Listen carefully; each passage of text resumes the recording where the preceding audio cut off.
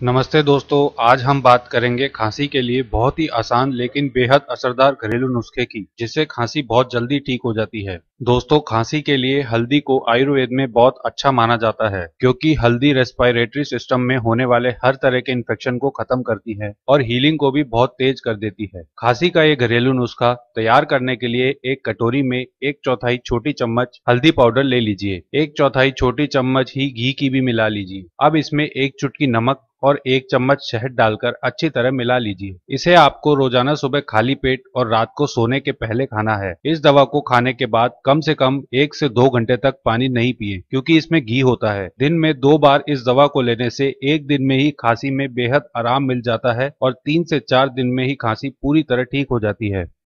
ऐसे ही और हेल्थ के वीडियोस देखते रहने के लिए आज ही हमारा चैनल सब्सक्राइब करें।